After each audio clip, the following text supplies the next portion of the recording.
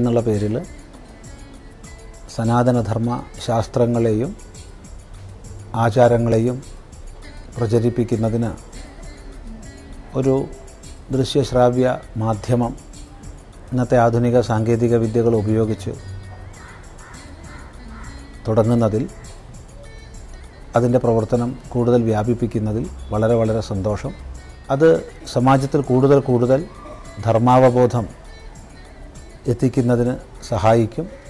അതിനുവേണ്ടി എല്ലാ തരത്തിലും എല്ലാവരും ഒത്തൊരുമിച്ച് പരിശ്രമിക്കുക. ഈ ഒരു പരിശ്രമത്തിന്റെ മഹത്വം മനസ്സിലാക്കി സമാജം ഇതിന്റെ പ്രവർത്തകരോട് പരമാവധി സഹകരിക്കുക.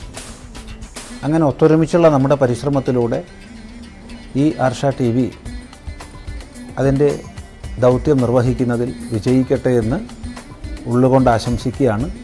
എല്ലാ ശുഭാശംസകളും നേർന്നുകൊള്ളുന്നു.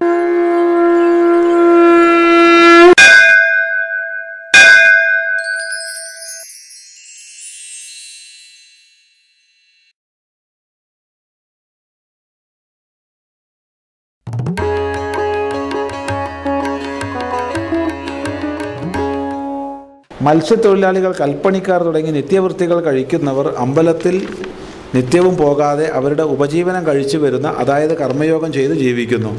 അപ്പോൾ ഏത് ജോലി ചെയ്താലും ആത്മാർത്ഥമായി ചെയ്ത് ജീവിച്ചാൽ പോരെ. അമ്പലത്തിൽ പള്ളിയിൽ മസ്ജിദിൽ പോകേണ്ട ആവശ്യമുണ്ടോ? പറ്റുമെങ്കിൽ പാവപ്പെട്ടവരെ സഹായിച്ചാൽ പോരെ. അതല്ലേ പുണ്യം? മതിയല്ലോ.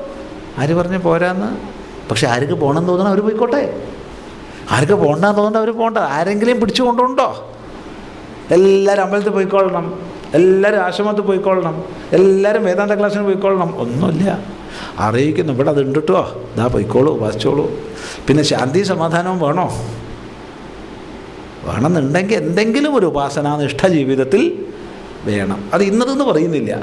എന്തെങ്കിലും ഒരു ഉപാസനാനിഷ്ഠ ഉണ്ടെങ്കിലേ ജീവിതത്തിൽ ശാന്തിയും സമാധാനം ഉണ്ടാവുള്ളൂ. അതിന് വളരെ എളുപ്പമായിട്ടുള്ള ഒരു ഉപാസനാക്രമമാണ് ക്ഷേത്രോപാസന. വളരെ എളുപ്പമായിട്ടുള്ള എന്നല്ല സകല ഉപാസനാ സമ്പ്രദായങ്ങളുടെയും ഒരു സമന്വയം ക്ഷേത്രോപാസനാ പദ്ധതിയിലുണ്ട്. അതുകൊണ്ടത് അത് ബഹുജന സുലഭമായ ഏവർക്കും സ്വീകരിക്കാൻ പറ്റുന്ന ഒരു ഉപാസനാക്രമമാണ് ശാസ്ത്രീയമായി ക്ഷേത്രോപാസനയെക്കുറിച്ച് പഠിക്കണം കേട്ടോ. എന്നാലേ മനസ്സിലാവുള്ളൂ. ഇന്ന് പൊതുവേ ഒരു സൂക്കടം എന്താ വെച്ചാൽ നാല് വേദാന്ത അവിടുന്ന് ഇവിടുന്ന് പഠിച്ചു കഴിഞ്ഞാൽ ക്ഷേത്രത്തിനെതിരെ പ്രസംഗിക്കാൻ തുടങ്ങും. വലിയൊരു കഷ്ടമായത് ഈ ക്ഷേത്രത്തിനെതിരെ പ്രസംഗിക്കാൻ ക്ഷേത്രം വെന്യൂ ആക്കും ആദ്യം പിടിച്ചു ക്ഷേത്ര കമ്മിറ്റിക്കാരെയാണ് ആ കാരണം ഈ ക്ഷേത്രത്തിനെതിരെ പ്രസംഗിക്കുന്ന ആളെ ക്ഷേത്രത്തിനുള്ളിൽ വിളിച്ചു കൊണ്ടുവരണോ? ക്ഷേത്രത്തിൽ പോകേണ്ട ഇത് അനാചാരമാണ് അബദ്ധമാണ് എന്ന് പറയും.